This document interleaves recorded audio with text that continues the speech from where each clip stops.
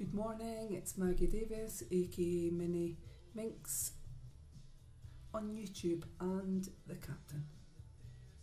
Um, I was going to share with you this little video. Um, it's on my Brother ScanNCut CM900. I thought um, it would be good to show you something that I made on this.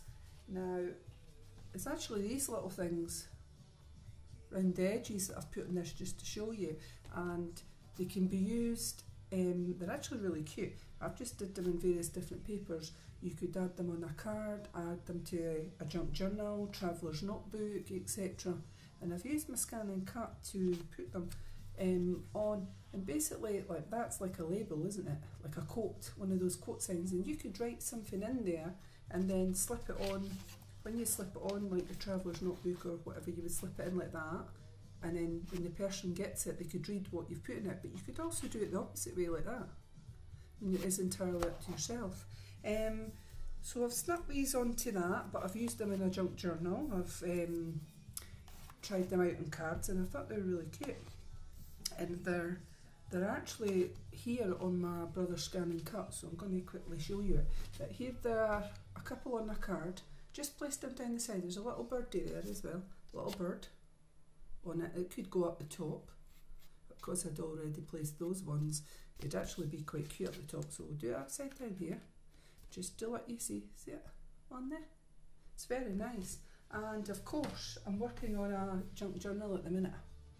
It's um, one by Genevieve Designs. It is a traveller's notebook um, journal with um, inserts inside, attachable inserts inside. And I have used these in here. I'll see if I could quickly show when I've not finished this. It's something I'm working on at the minute. Yeah. So there's I've put the little figure there. It's a little person there in it, and put it in. Um, I've still got some things to do on this. Um, what's the written pages, but this is my first one I'm doing on this, and it's large, and I'm keeping it for myself. Um, when I then from there on, I might do um, ones for other people, but I could just quickly show you something again. So you could stick that anywhere on it. Like I've got a big tag here. You could place it on the tag. You could place it here on these little things um, is entirely up to yourself and I thought they were quite cute. So, and I'll quickly show you my tassel. This is a handmade uh, tassel and I've put it on a keyring at the minute, just done with wire, done with funky fibres and a little bit chain on there and I'll need to do a video on that as well because it is quite simple. And what I was hoping to do is attach that to the spine on there.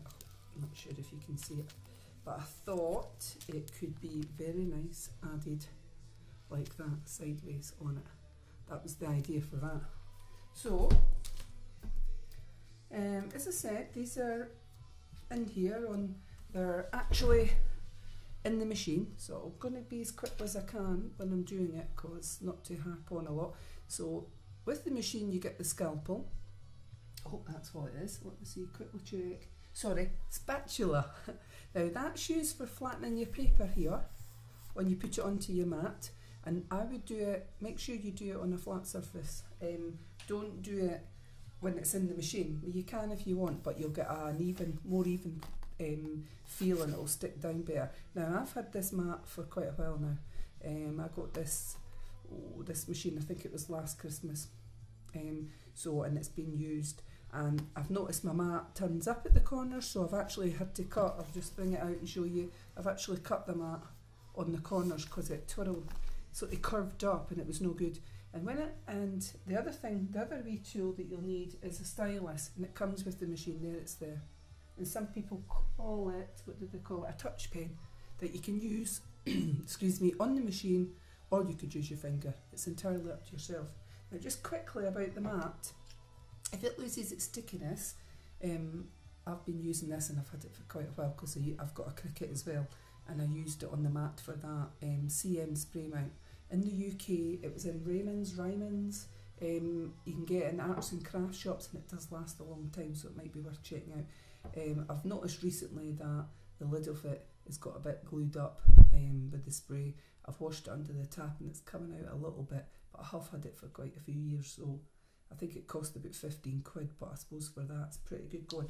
Right, so we'll quickly get on with this. I'm sorry if my hands are in the way because um, when I'm doing it, because my cam's got to come at an angle in order for you to see this. So obviously the first thing you're doing, put your paper on your mat, whatever you want to use. I always hold mine, you, and then you're pressing that to load. So either use your stylus or your finger.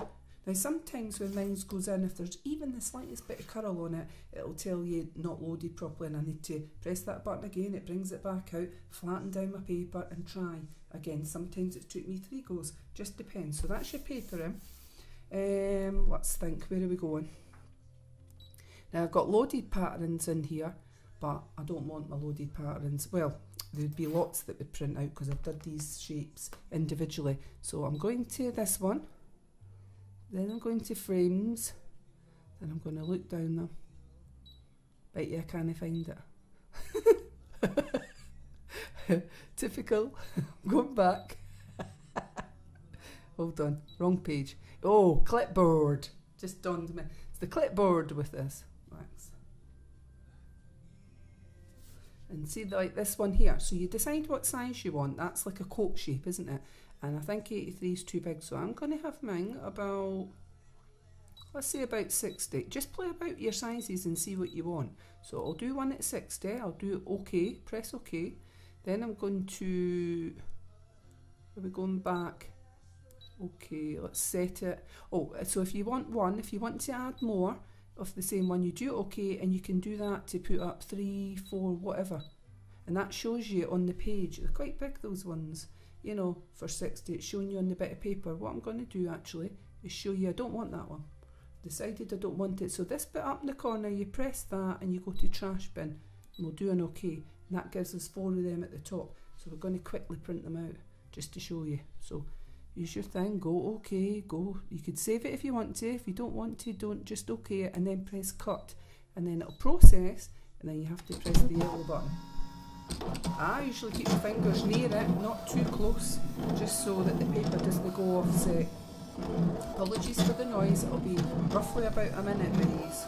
I just want to quickly show you. Um, and I keep the cutter, you know the, what's it called, number six, the pen holder is the bit that cuts it with the blade in it. And I have that at the minute number six.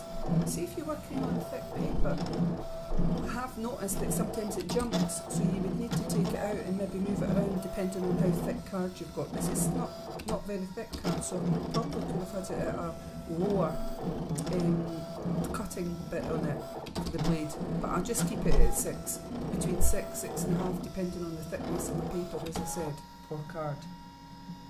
So that's those four done, quite quick, eh? and they were quite big, but I'm just going to, and that's to ejection mat.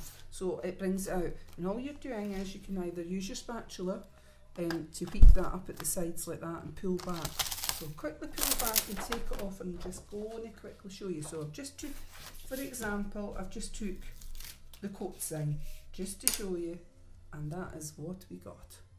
Now it's big, it's lovely as I would say. So now I'm just going to get my card and quickly show you, take these ones off that I had on it before and if you had that card decorated, for example, you could have that on the top just like that or you could put and write something in there or something on the back as well. Now if it was double sided, yeah that'd be quite nice there when you turn it like that because there'd be something there. Or you could just write something, ink the edges, um, you know, really is up to yourself. You could emboss this as well and make it bumpy, lumpy, whatever you want, or you could have it that way. I do much prefer it like that so it makes you think, oh, there's something there, and when you lift off, there's something else. But it does look quite good. Eh? So I'm going to quickly show you Simple as that. Now, sorry, I've, I've jumped whatever from one to the other. I was going to show you. So when you, if you want to save it, fine. You just you press the save on it, and it'll be stored inside your storage. If you don't, you press the middle, the house button there, and it says OK to delete all patterns. Yes. Now I just wanted to quickly go into pattern again. So that inside that one, and it's down to this, and it's the flipboard. And there's, I hope you can, I'm not sure if you can see it, that's the different ones that you've got for cutting. Even the telephone, don't know about that. don't think that's that. It might be, I've not tried it. Um, that's a plant, that's a wee person, a little bird, and there's a hen. An arrow pointing down there, excuse me. so there's various different ones. I was going to see if I had anything that I'd already previously cut out in my box just to let you see, but I'm seeing mostly quotes and little birdies. Um, did I do, I'm sure I've done one, let me see if I can see it. So a smaller like coat thing on it and a little round coat there on it. Yep. So, as I said, these can be used in various different things.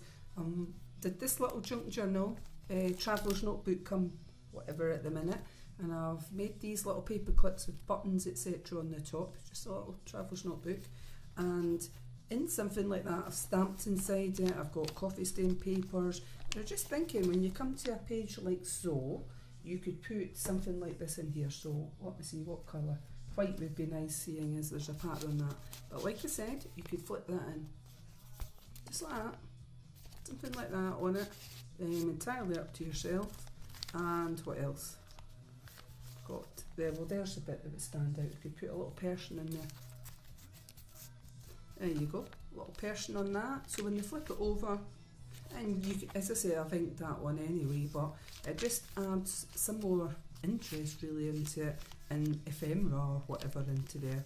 I've got a little pocket in there, but you could, if there wasn't that in it, you could do from the side bit. Let me see, what could we put on this side? Let's get a vibrant colour. So this could go there, a little quote on the side, just, just like that. And when the person hangs out, there could be something written, or on the back written. So a few ideas. If you've got one of these, I would try it out. Okay. Thank you for watching. Bye. And if um, if you like any of those little paper clips, etc., I will be selling some of them on my Etsy shop, Minx Creations UK. There'll be a little link underneath on this video. Many thanks for watching. Have a good day. Bye.